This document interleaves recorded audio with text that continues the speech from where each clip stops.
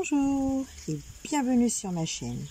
Je suis ravie de vous retrouver aujourd'hui pour une petite séance de diamantage tranquillement installée dans le jardin.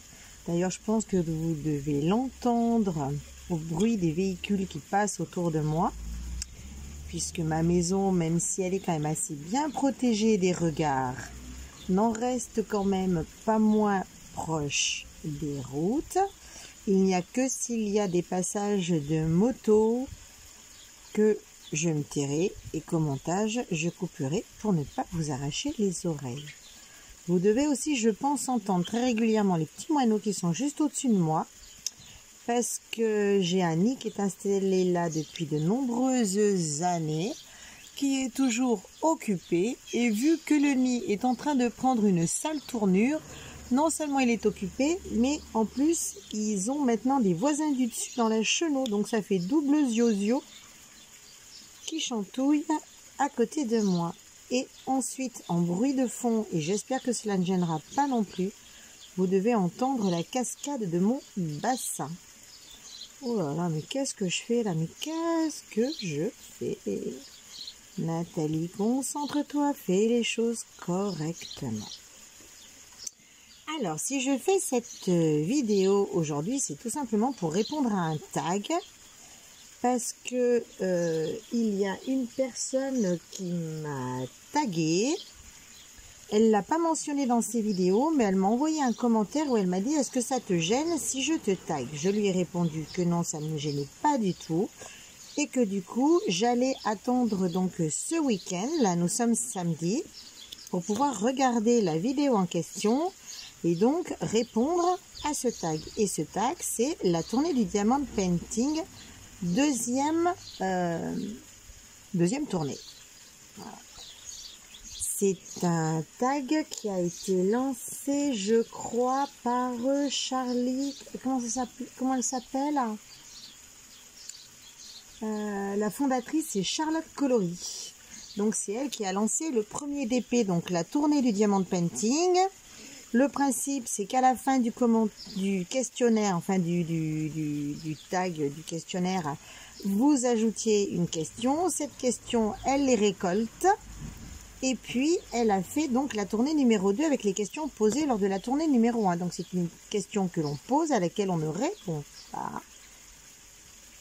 Et on attend le prochain tag pour pouvoir répondre. Donc là, je vais prendre au vol euh, donc le tag qui s'appelle la tournée du Diamond Painting numéro 2.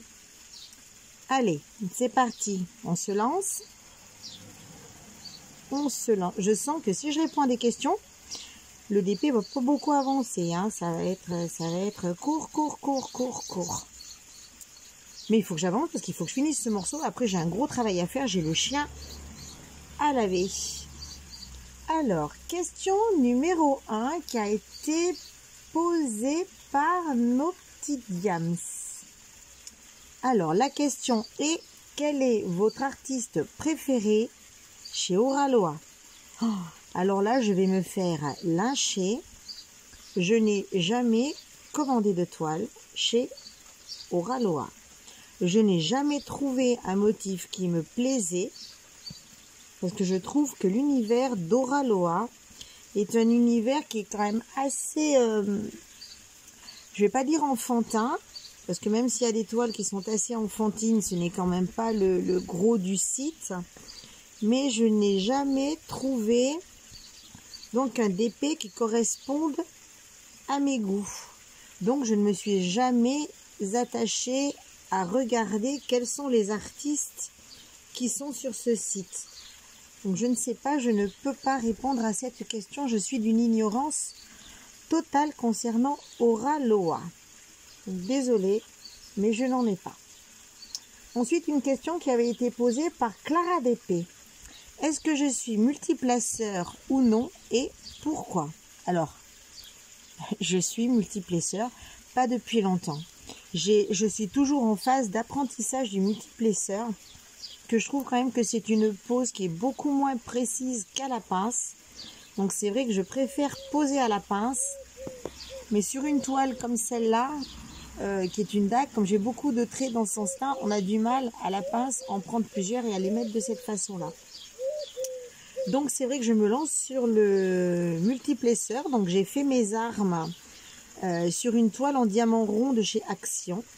Donc qui étaient les Arayacinthes hein, que vous pouvez euh, voir réaliser ben, sur ma chaîne.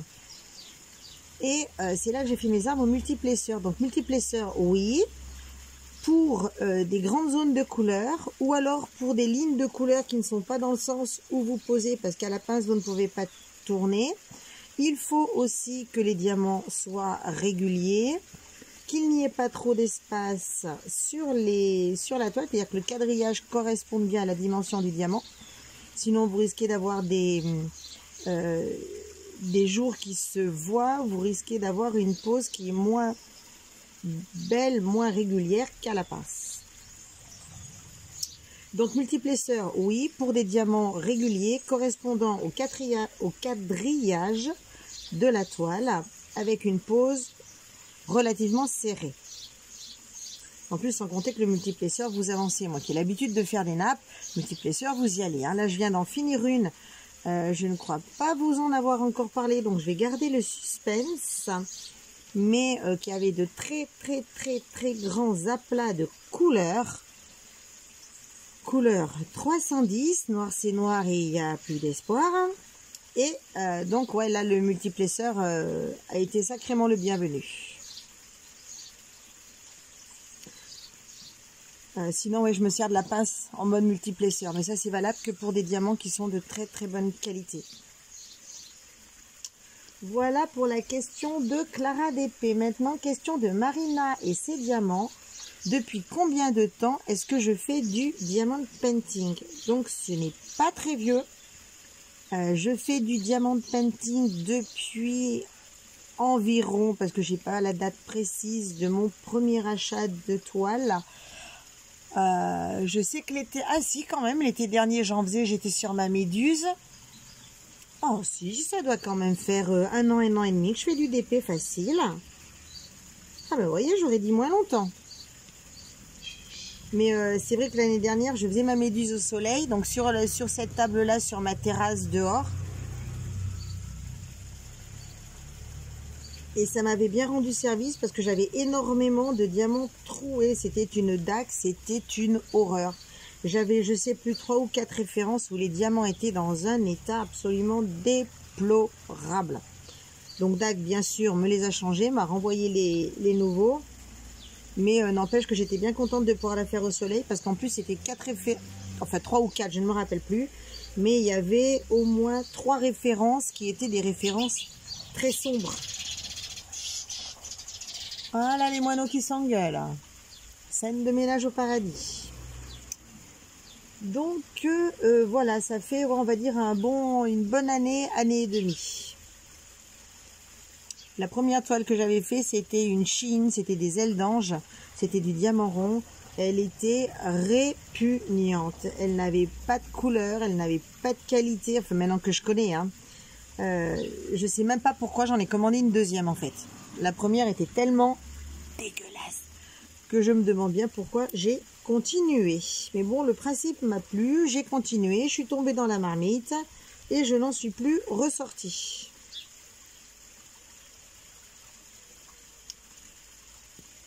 Euh,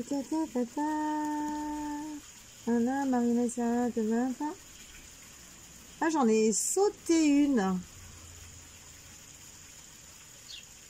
J'en ai sauté une de Céline Diamante qui était comme question quel est ton style de DP préféré? Alors, 1. Je suis une diamanteuse de diamants carrés de préférence. Ça, c'est une chose. Euh, ensuite, mon style de DP, j'en ai énormément. Euh, j'aime tout ce qui est euh, fantastique, science-fiction, tout ce qui est animalier, végétal, paysage, steampunk, mais on en trouve très très peu, fantastique, un petit peu d'horreur aussi, pourquoi pas. Par contre, je ne suis pas du tout euh, Disney, portrait, euh, portrait, euh, portrait genre... quelle est la madame là qui plaît tant sur Oraloa Laure Philippon. Voilà, je suis pas, je suis pas fan de ce style de toile. Après des toiles noires ou des toiles colorées, ça ne me dérange pas non plus. Euh, ouais, j'en ai, j'en ai quand même énormément, énormément. J'aime pas tout ce qui a tendance à virer enfantin manga. En gros. Après, les Disney, euh, tout ce qui est univers Disney, c'est non. Euh, même par exemple, Dragon. Bon, je sais pas si c'est un Disney, hein, mais Dragon, j'aime beaucoup ce dessin animé. Par contre, je n'irai pas faire une toile de DP de chez eux, de, sur ce thème-là. Mais sinon, non, je suis quand même assez éclectique. Euh, je suis quand même assez éclectique. Je dis ça, je dis ça, portrait enfantin, manga, ok N'empêche que j'ai fait une toile de Nausicaa et la vallée du vent de Miyazaki. J'en ai fait une, je voulais absolument la faire. Donc j'ai quand même une dessin animé dans mon salon, affiché. dont je suis fan, que j'adore. Je me contredis. bon, en fait, j'aime tout pourvu que le motif me plaise. Voilà. J'ai pas de, pas de, gros gros a priori. Je peux très bien un jour craquer sur une image de, de Laure Philippon. Hein. Il n'y a pas de, il y a, comme je dis souvent, il n'y a que les imbéciles qui changent pas d'avis. Donc ouais, je suis très très éclectique. C'est comme en musique, c'est comme en, en genre cinématographique, c'est comme... Euh, je suis très éclectique. Je peux très bien regarder avec bonheur à la télé euh, euh, du Sissi, renchérir derrière sur du Star Wars, de l'Avatar ou du Squid Game ou du Swap. Il y a de tout. Hop, je range ma boîte, il est loin. Suivante suis dans les verts là. Ça, c'est mes tons de prédilection, c'est les verts. Bon, je l'avais sauté celle-là, celle de Céline Diamante. Donc, j'avais répondu à celle de Marina et ses diamants. Ensuite, la sauterelle. Une chaîne s'appelle la sauterelle. As-tu accroché un DP chez toi? Et si oui, lequel? Alors, comment dire? Euh, Oui, il y a des DP affichés chez moi. Oh là là, je vous fais trembler. Alors des DP chez moi, j'en ai un, deux, alors un, deux, troisième sur la cheminée, quatrième sur le mur, cinquième sur l'autre mur, sixième, septième dans ma chambre. Donc j'en ai sept d'affichés. J'en ai sept d'affichés.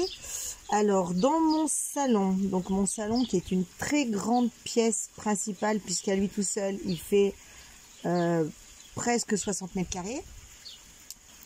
Dans ma pièce principale, j'ai ma méduse de chez Diamant Tarte Club qui fait, euh, qui est un petit monstre. Je crois qu'elle fait 70 euh, par 90. J'ai euh, la toile de mon chien là, qui est une Manu Rachel Store. Donc c'est une photo que j'ai prise de mon chien dans une rivière qui s'appelle l'Herbasse, qui est une toile de 80 cm de large sur 1,10 m de haut. L'autre toile que j'ai de mes animaux, c'est une photo que j'avais faite de mon jar. Donc le jar, c'est le mâle de l'oie. Donc de mon jar avec son poussin, les deux pieds dans le bassin avec le reflet dans l'eau. Donc c'est une toile qui fait que 30 cm de long. Par contre, je crois de mémoire qu'elle fait 1m10 de haut. Euh, la suivante qui est accrochée donc dans mon salon, là, là, là. La suivante, elle est sur ma cheminée. Je l'ai changée il y a peu de temps. Il y avait mon poney de guerre indien et je l'ai remplacé par la licorne que j'ai faite il n'y a pas très longtemps. Euh, ensuite, j'ai donc ma Nausicaa et la vallée du vent dont on parlait il y a deux minutes là, qui est une euh, toile façon un petit peu euh, art déco et qui est le résumé du film de Miyazaki qui fait des mangas, euh, j'aime pas dire pour adultes parce que ça a une connotation, euh, voilà. Mais euh, ce ne sont pas les mangas qu'on regarde pour les enfants, genre Candy et compagnie. C'est quand même voilà. Donc c'est du Miyazaki. Si vous connaissez pas et que vous aimez les mangas, allez voir Miyazaki.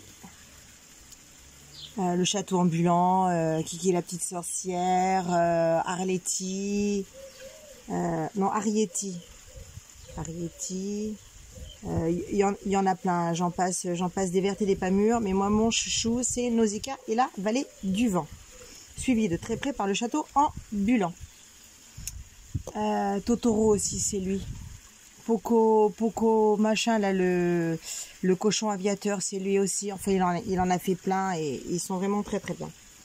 Et pour finir dans ma chambre j'ai encore une DAC. Donc la DAC c'est euh, les pandas géants. Donc que j'ai monté sur châssis que j'ai fabriqué moi-même.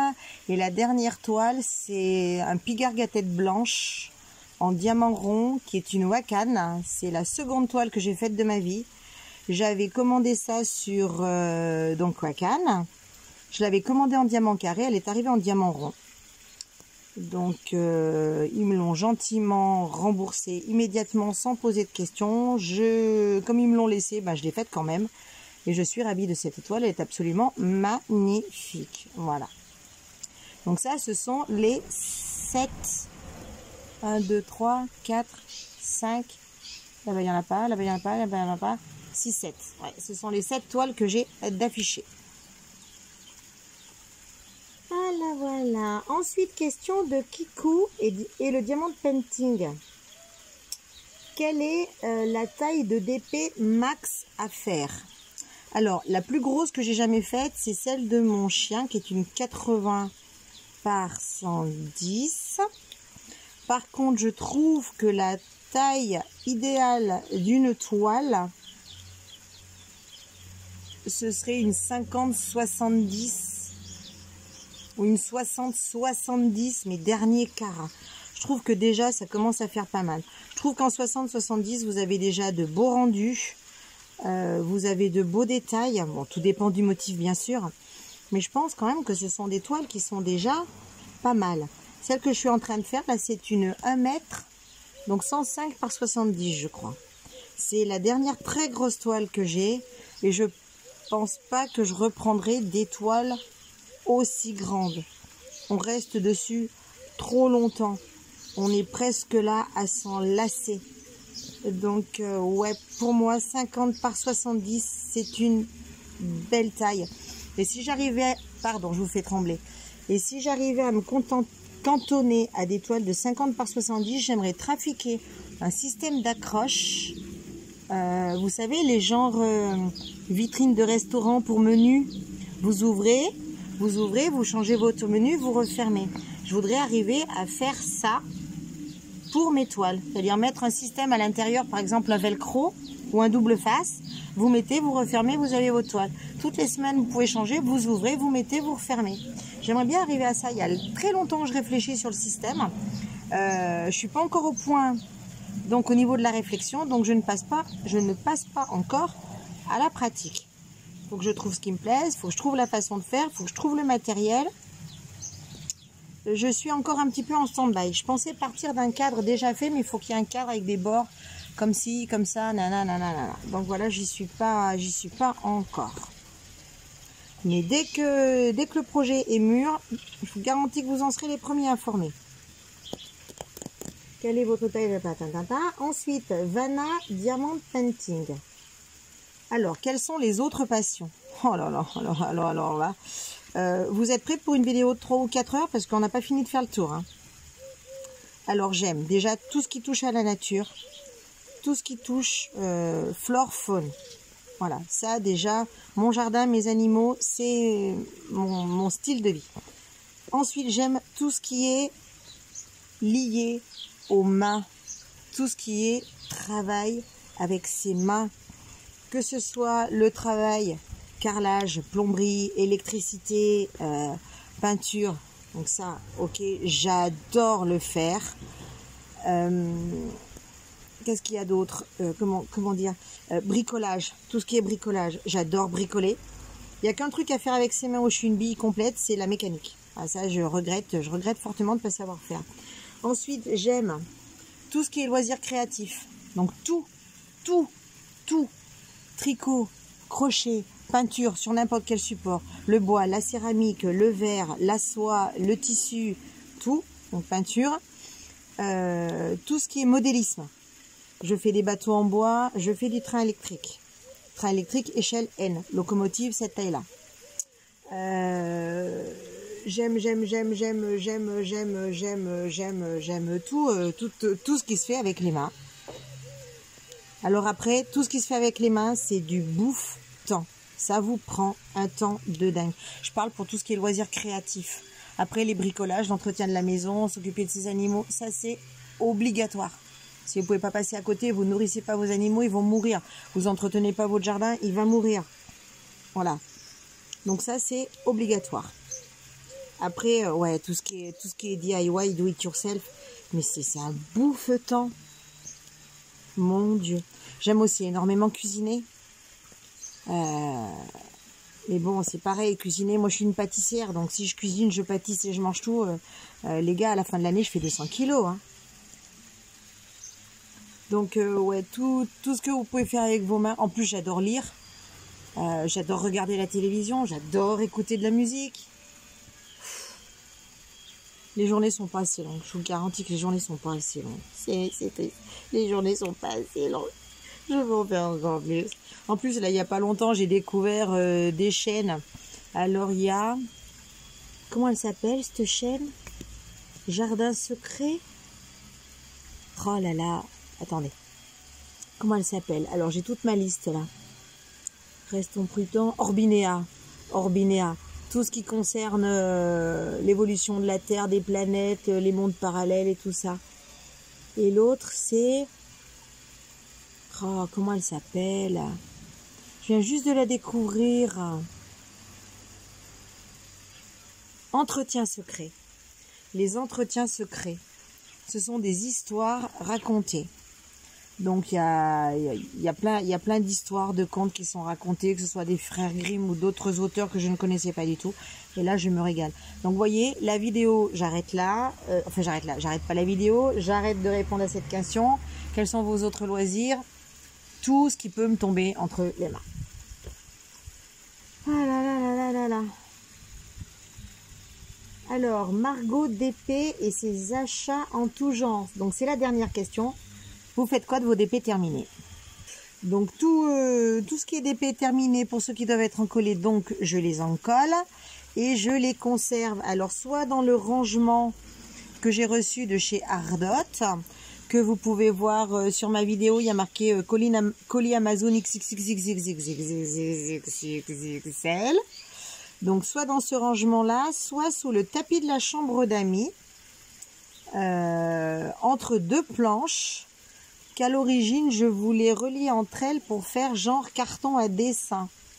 Donc c'est pas dit que je ne le fasse pas un de ces quatre, mais en tout cas mes toiles terminées, collées ou non, sont stockées là-bas dessous, bien protégées entre deux planches de contreplaqué. Voilà. Donc ce questionnaire est maintenant terminé. Il va donc falloir que je réfléchisse, un, à qui que je vais taguer parce que comme je suis une chaîne qui est toute récente, euh, j'ai pas encore énormément de, de, chaînes que je connais. J'aimerais bien en trouver une qui soit pas trop connue. Parce que de toute façon, toutes les plus grandes, euh, euh, Manon et ses loisirs, Diamant et Strass, tout ça, ça doit être tagué depuis belle lurette. Donc c'est même pas la peine que j'essaye de m'attaquer aux grandes du domaine. Donc, faut que je me trouve une petite chaîne en devenir, euh, toute petite, toute sympa, toute mimi. Alors, je vais taguer la chaîne de Bérénice qui s'appelle l'atelier de moustiques. Une petite chaîne en devenir. Voilà, je vais lui envoyer un petit message pour qu'elle le sache et qu'elle puisse répondre au tag de la tournée des diamants, la tournée du DP numéro 2 si elle ne l'a pas déjà fait sur sa chaîne. Voilà. Allez, j'oublie un truc important. Ma question. Quelle va être ma question? Mon Dieu, qu'est-ce que je vais pouvoir vous poser comme question? Si je sais quelque chose qui n'a pas grand-chose à voir avec le, le diamant de painting, quel est l'instant que vous savourez le plus dans votre journée? Un instant précis un moment, un, truc que vous faites euh, quasi quotidiennement et que vous faites ah voilà le truc, l'instant magique.